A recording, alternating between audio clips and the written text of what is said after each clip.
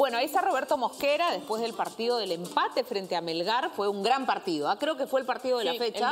Exacto. Y em, bueno, no estaba muy contento Roberto Mosquera. No le pareció que su equipo eh, tuvo un buen rendimiento. Em, estaba algo, algo fastidiado y creo que Melgar hasta mereció ganar sobre el final del partido. Eh, ahí, cuando escuchábamos las declaraciones de Mosquera, él reconocía que no estaba contento con lo que había mostrado su equipo. Venía de caer frente a Sport Bancayo, de empatar de local frente a Melgar Descansó en la fecha pasada, Cristal tiene un punto, mientras que eh, Huancayo tiene nueve. Hay una diferencia. Hay una diferencia amplia en, eh, cuanto a los puntos. Y es un Cristal que obviamente no ha mostrado Canal exclusivo de Movistar TV.